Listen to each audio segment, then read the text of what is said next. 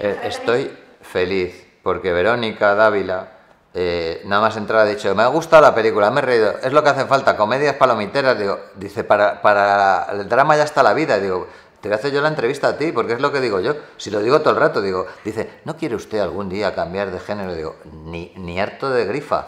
O sea, yo amo la risa, me parece sanadora, me parece curativa. Es que es lo que nos salva de la vida, si la vida es horrible. Totalmente de acuerdo, Santiago. Es que Que no- sea pa- pandemia, volcanes, guerras. O sea, no, pero yo creo que mi película, mi idea era decir, quiero raptar al espectador, quitarle de su hipoteca, de sus dramas, de sus miserias y tal, y de una hora y media que esté con una sonrisa. Y si he logrado eso, eh, que soy feliz. En pleno verano. Claro que sí, pero ¿por qué? Porque la Navidad es que la quiere uno en cualquier momento. Porque ¿qué es la Navidad? Compartir, amor. eh, es como ese calor navideño. Yo era un niño muy tonto y me encantaba la Navidad. O sea, decía, era mi época del año. Se me ponían los ojitos así como el gato de Shrek. Decía, Navidad, Navidad. Y ahora de mayor, que soy un poco más Scrooge o Grinch, soy un poco el Grinch, la Navidad me, me ablanda un poco. Y yo entonces digo, bueno, un poquito de Navidad. Además, con el calor que está haciendo, el fresquito, entre el aire acondicionado del cine y la película está así basada en, en la Navidad, que no es una película navideña porque se estrena en verano. Y además las películas son de, de cuando se estrenan. Yo es que el verano son dos meses de, de vacaciones los niños, ahí tienen los padres mucho tiempo libre. Es el momento de, de- darles una oportunidad de que puedan ir a verla. Bueno, el- yo intento, más que sorprenderles, no, no defraudarles. O sea, que esperan reírse y pasarlo bien y que se rían y que lo pasen bien. O sea, o sea, cumplir lo que prometo. O sea, yo no prometo que le voy a cambiar su vida ni que van a a lo mejor estar haciendo profundas reflexiones sobre, sobre la, o sea, la materia o sobre la levedad del ser. No, es entretenimiento puro y duro, risa y simpatía. Es una comedia amable, que me parece muy pretencioso ya hacer una comedia amable y tragadera, porque a veces hay comedias que insultan un poco a la inteligencia y sobre todo comedias familiares en que los padres se aburren o los niños no entienden lo que está pasando. Yo intento llegar a todos, que es complicado. En cuanto a la trama, hemos metido que viene el, mi suegro, el padre de Tony Acosta, que es que no le aguanto, o sea, que es un poco pesado, es muy llorón. Y luego el novio de mi hija mayor se ha metido en casa y yo de verdad, mm, somos seis ya, por favor, ¿qué hace este chico aquí?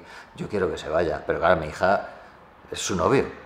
Entonces, claro, estos dos personajes a mí me, irritan bastante. Si luego encima añadimos otras tres subtramas, que cada uno tiene su trama, que el otro día eh, Marta, mi co-guionista, no había visto la película todavía y la vio el otro día y dice, joder, no me acordaba la de cosas que hemos escrito. Digo, sí, sí, es que pasan muchas cosas.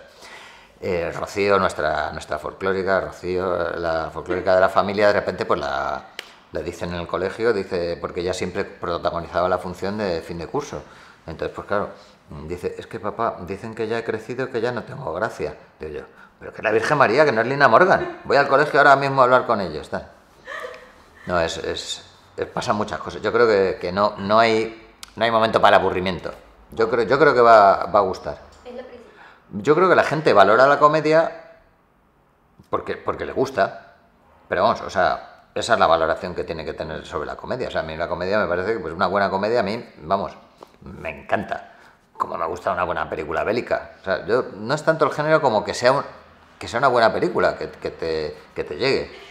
Tienes que ir sumando pues pequeñas cosas, pues eso, la tía Carmen está embarazada, eh, pues el tío Paco está harto de que, de que, Lola León esté en su casa y nos lo quiere mandar a nosotros, o sea, que, que pasan, pasan cosas, claro, porque es- eso tiene que haber movimiento para que haya líos y que haya sorpresas.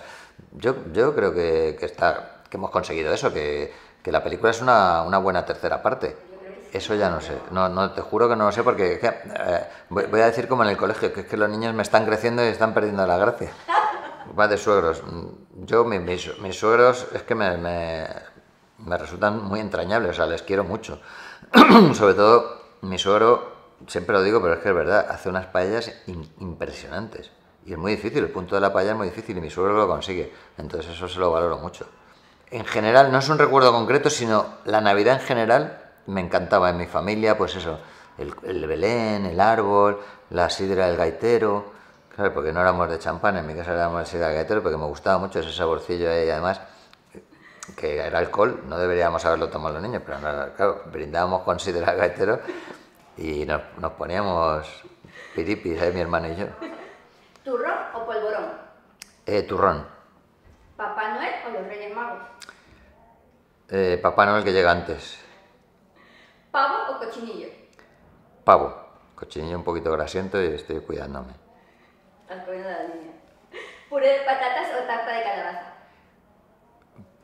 Pues mira, eh, voy a decir tarta de calabaza porque así la pruebo. Es que no la veo en las películas siempre que se la toman los americanos y nunca la he probado. Pues ya sabes, este año, ¿ah? ¿Roscón o tarta de manzana? Eh, roscón. Pero esto tienes que haber dicho roscón con nata o sin nata, que ahí es donde como la, como la tortilla de patata con o sin cebolla. Yo con nata. Con nata siempre. Sí. Y la última, ¿el cine con palomitas o sin palomitas? El cine con palomitas, pero dulces. Y ya es, es- ese ya es como uf, el vicio, vicio total. Santiago, hoy te quiero más, estamos conectados. Muy bien, sí. palomitas dulces, always. Siempre me voy a los cines que sé que tienen palomitas dulces. Y además ¿sabes? a veces elijo un cine por las palomitas. Yo elijo el yelmo, porque Claro. voy a hacer promo, pero elijo solamente el yelmo o algunos que tienen palomitas dulces, porque hay muchos que no lo tienen. Yelmo tiene unas palomitas además como muy churruscadas, o sea, tiene el caramelo está muy tal. Las intentan, por ejemplo, en el proyecciones no están mal, pero no tienen menos, menos intensidad. Estamos conectados, muy bien. Bueno, es muy importante, por favor, amigos, que no os perdáis la película. Me haríais feliz y os haréis felices a vosotros mismos. Eso sí, en cines, está en todos los cines, solo en cines.